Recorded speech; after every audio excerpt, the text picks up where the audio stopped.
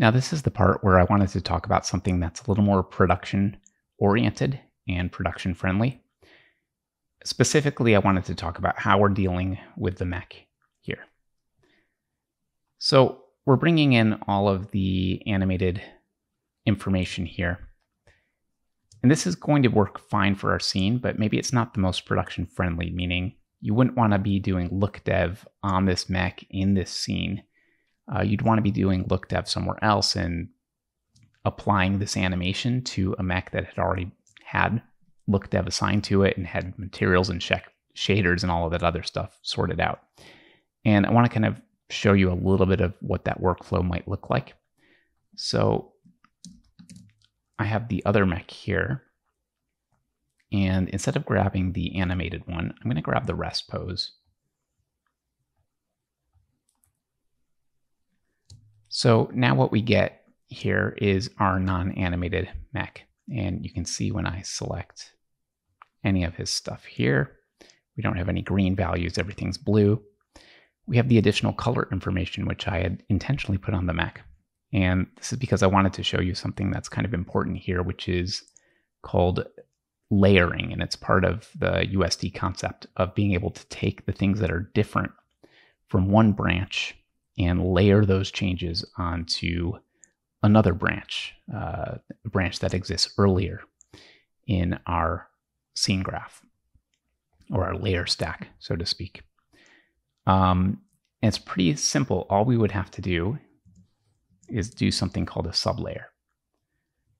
So when I sublayer it, I'm going to take my mech and put it here. If this was written out to disk, we would just grab that file and plug that in. But since it's going to be a live SOP, we're going to connect that right in here. And I am not going to change anything because the sublayer type is set to files and inputs, meaning it's going to look here and it's going to look here. We could change this to only look for inputs or only look for files if we want. And now when I highlight this, what we're going to see is something really interesting. We're going to see the things that were different about this applied to this here.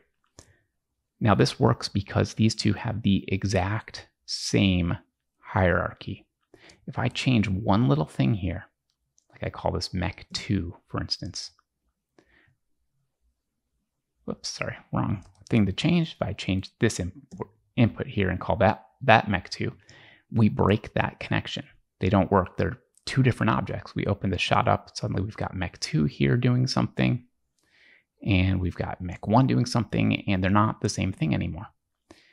But if we have the exact same information here and we layer one on top of the other, we keep the things that there was no, in USD terms, it's called an opinion. This layer did not have an opinion about the color of the mech, so the color stayed. It did, however, have an opinion about the point positions, the normals, and the velocity information of that mech. And it authored that right here into the scene.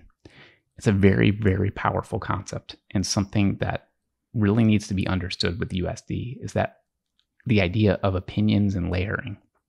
And let me show you a little bit about how that would work. I'm going to go back into object context here.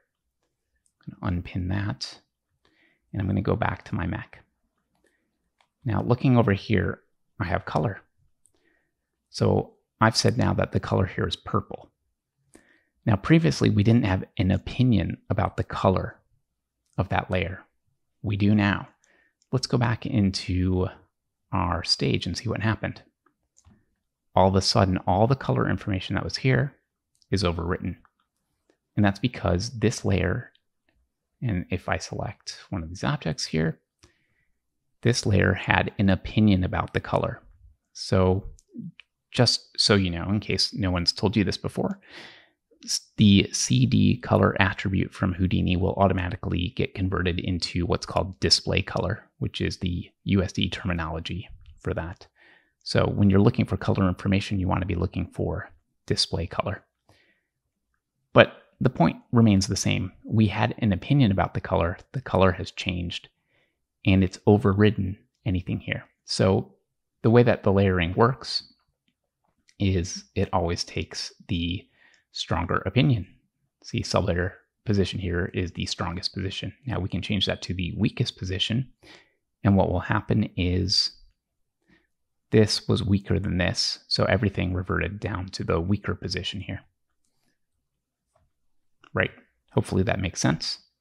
Let's go back to our mech, turn off color, and go back to our stage. And there we go.